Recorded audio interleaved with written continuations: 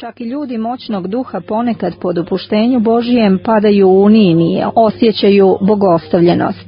Sam gospod u Gecimanskom vrtu stradao je do krvavog znoja i govorio, duša je moja žalosna do smrti. I upravo nam je on rekao, blaženi izgnani pravde radi jer je njihovo carstvo nebesko. Posle osam mjeseci u izgnanstvu pao je u Uninije izmučeni episkop Luka.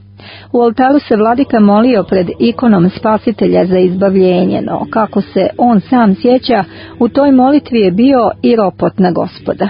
I tu je episkop odjednom ugledao kako je Hristos odlučno okrenuo svoj prečisti lik od njega.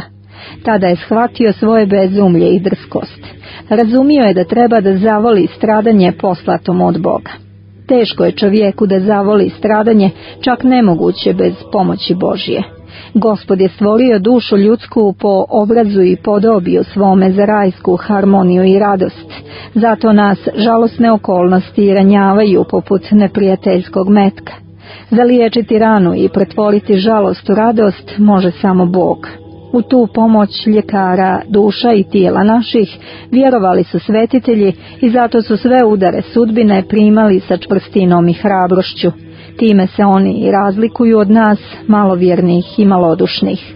Onaj koji istinski traži spasenje na svom iskustvu se uvjerio da upravo stradanje mijenja srž srca čovječijeg, čineći ga sposobnim za primanje blagodati i zato ga i voli.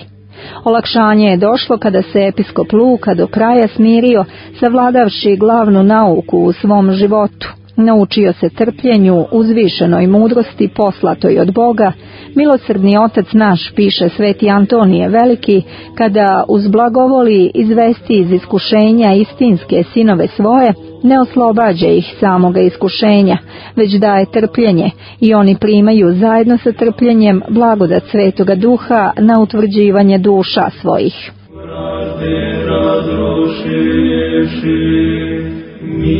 Dei, Dei,